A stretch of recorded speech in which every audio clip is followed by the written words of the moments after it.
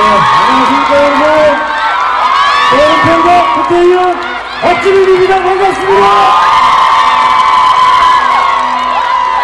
네 여러분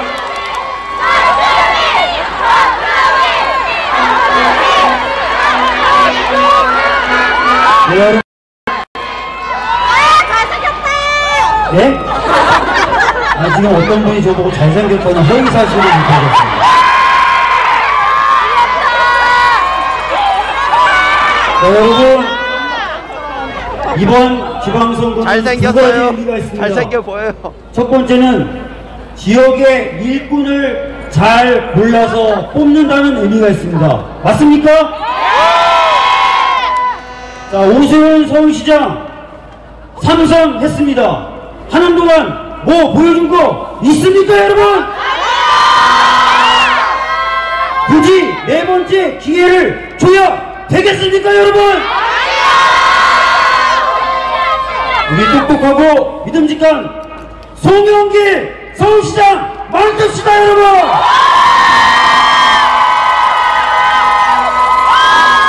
여러분 그리고 지방선거의 두 번째 의미가 있습니다.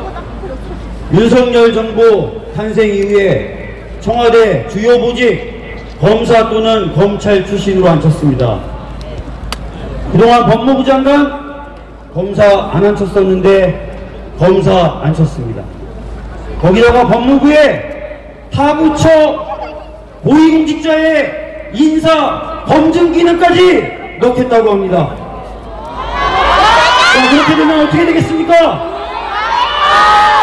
국정이 검찰 중심으로 검사스럽게 운영된다는 것입니다, 여러분! 우. 여러분 검사가 똑똑할 수도 있습니다. 저도 사법고 싶어 했었습니다. 제가 비록 얼굴이 이래도 서울대 먹고 대원으로 출신입니다. 그러나 평생 검사만 한 사람들이 외교를 알겠습니까? 통일을 알겠습니까? 안보를 알겠습니까? 경제를 알겠습니까? 문화를 알겠습니까, 여러분? 지금 국민들은 걱정하고 계십니다.